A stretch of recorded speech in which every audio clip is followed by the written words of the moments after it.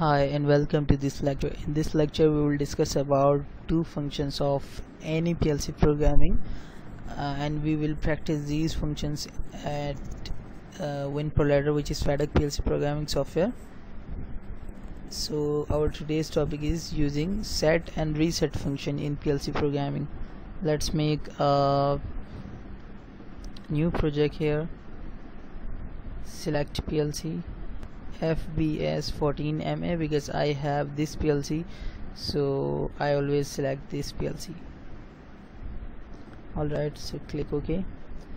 So here we have to make a simple program by using normally open normally close and coil functions. So here is normally open contact we have and here is a coil we have which is y0 here is another contact which is x1 x2 and here we will use set and reset. You can see here is a set coil and it's a reset coil.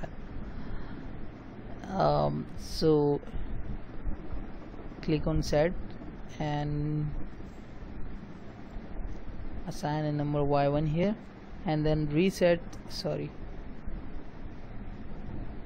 Take a reset coil and y1 because I want to reset this y1 alright click enter. So here what reset what set and reset actually is uh, this is our as you know a simple coil it means when it will receive a pulse it will energize and until uh, it will energize until it is receiving a uh, receiving a signal. It means when a signal is break from here it will be de-energized. But the scenario here is something else something different. If I want my coil be switched on with my just one signal. As for example I have here a push button x1 and x0 and x3 there are three push buttons and there are two motors I have. For example y0 and y1 when I will switch on this uh, x0 push button when I will push this x0 push button the y0 the first motor y0 motor will start will start running until I will leave the push button. When I will leave push button the first motor will stop. But here when I will click when I will push x1 button uh, once and then leave. So by one pulse of this x1 button the y1 will be set.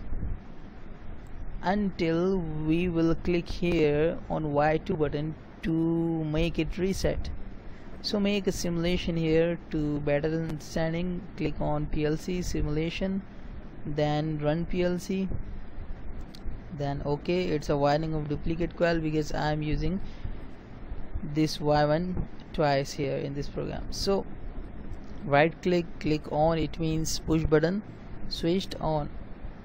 When I will switch on this push button the Y0 is energize here. When I will disclick here when I will remove my click and switched on this button here it is now it's not energized here. And the same scenario here when I will click on when I will switch on this it is energized. When I will so you as you as you have seen I have just left my push button here just left my force from this push button but my second motor is still running.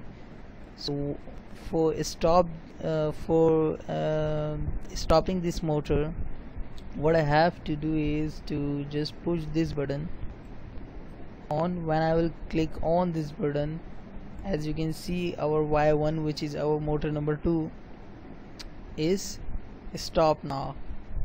So this is what the purpose of this we use uh, set and reset mostly in the program of any PLC so I hope you have understood these things set and reset. Normally open normally close and coil contacts here in this Fatek PLC programming